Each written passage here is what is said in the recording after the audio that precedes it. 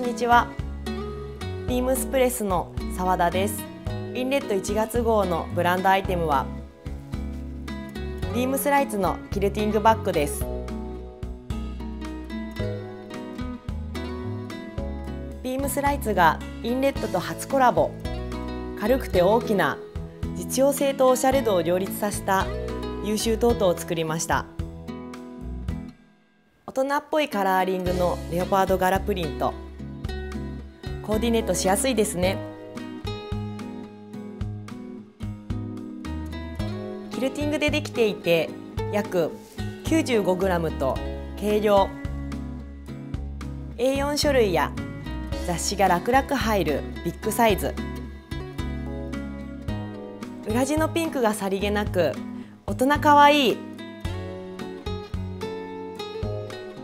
スナップボタンがついているので中身が飛び出しません。2つの大きなアウトポケットは何でも入れられます。普段使いはもちろんお仕事に旅行にも役立つバッグです。